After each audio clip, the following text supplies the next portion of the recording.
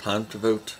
It's a quarter till six. I woke up extra early so I could go straight to the polls and vote for Democrats up and down the ticket.